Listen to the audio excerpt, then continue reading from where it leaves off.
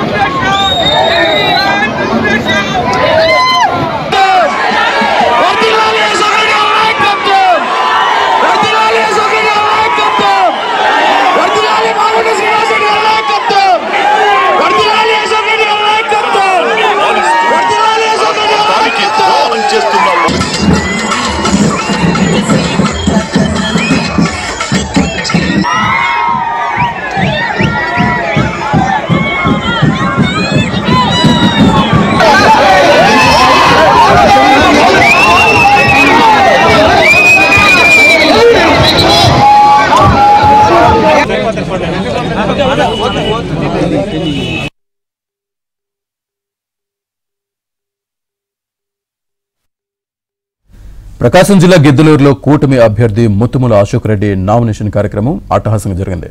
ఈ సందర్భంగా పట్టణంలో భారీ ర్యాలీ నిర్వహించారు. నామినేషన్ కార్యక్రమంలో టీడీపీ నాయకుడు మాగుంట రాఘవరెడ్డి జనసేన నాయకుడు బెల్లంకొండ సాయిబాబు పాల్గొన్నారు. అనంతరం అశోక్ రెడ్డి నామినేషన్ దాఖలు చేశారు. టీడీపీ అధినేత చంద్రబాబు పేద ప్రజలకు ప్రకటించిన పథకాలే తనను గెలిపిస్తాయని అన్నారు. ఎన్డీఏ కూటమి అధికారంలోకి రావడం ఖాయమని అన్నారు.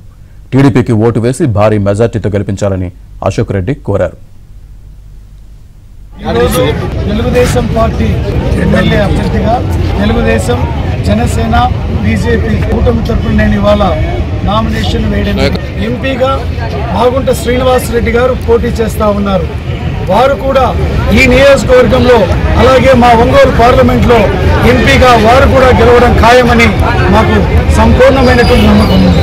ఈ రోజు ఈ వైఎస్ఆర్ పార్టీ అధికారంలోకి వచ్చిన తర్వాత ఈ నియోజకవర్గంలో వారు చేసినటువంటి అభివృద్ధి ఏమీ వచ్చి కూడా లేదు.